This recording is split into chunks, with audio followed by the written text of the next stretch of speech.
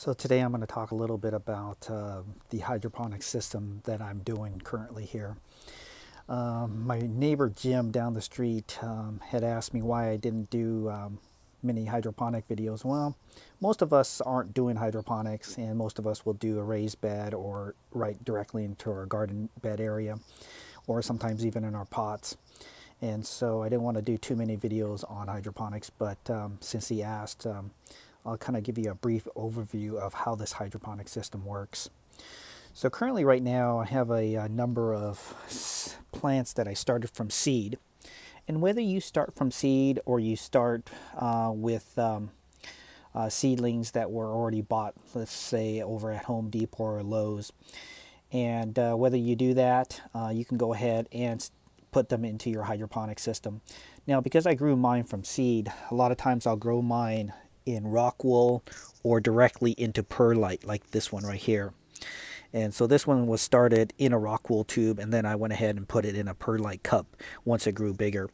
But whether you use uh, rock wool or perlite um, and cubes, you still can go ahead and transplant them into your final resting place, your hydroponic larger cooler. And so there, that is the cooler that I use. Uh, I bought these coolers over at um, Walmart for a couple bucks. And then I took a couple kitchen bags and um, insert them in the inside of that. Um, for whatever reason, we've been able to invent many things and improve upon many things, but for whatever reason, we seem can't can't seem to invent uh, styrofoam that doesn't leak.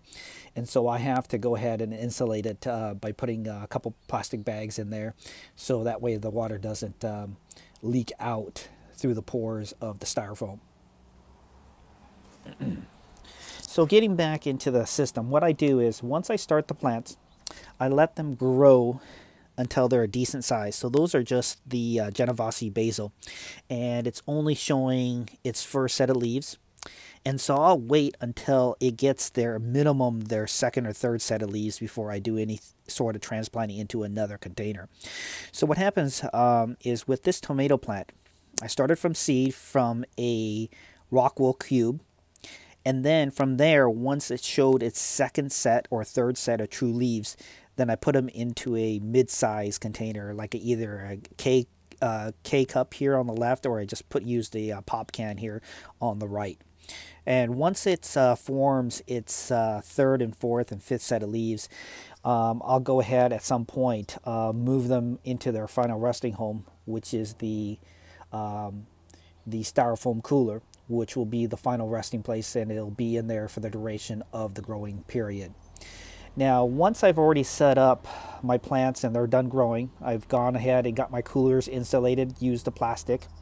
Then what I'll do is um, I'll use the lids and I'll drill, drill some holes on top. And I usually, for tomatoes, I usually put four tomatoes per container.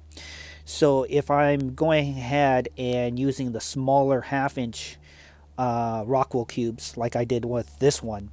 Um, I only need to use a hole saw that is smaller. I think this one is a 7 8 inch hole saw and that hole will be big enough on the lid uh, to fit inside there.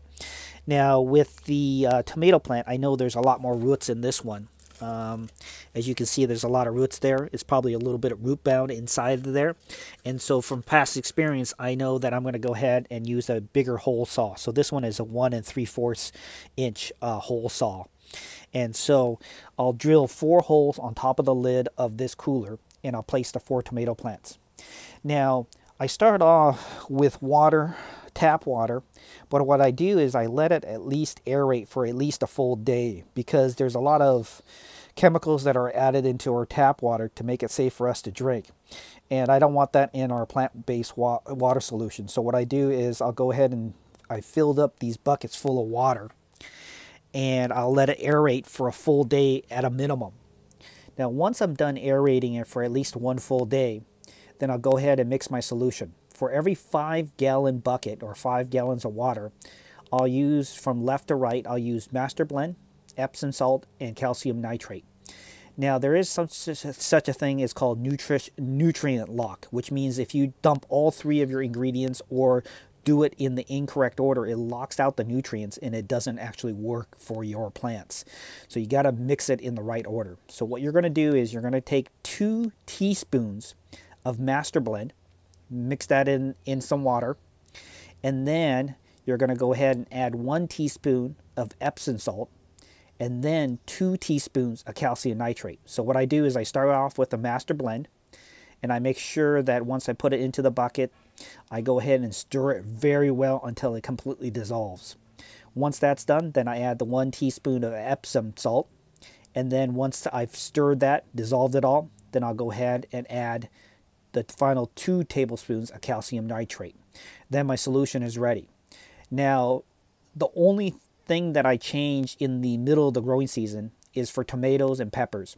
Once my tomatoes start forming, it's flowered, it's been pollinated, the fruit is starting to show, in order to make sure that I minimize or eliminate uh, blossom end rot, I'll go ahead and I'll add CalMag um, solution into my five gallon bucket at the uh, described uh, listed amount. And I think I did a video earlier on that, so go ahead and watch that.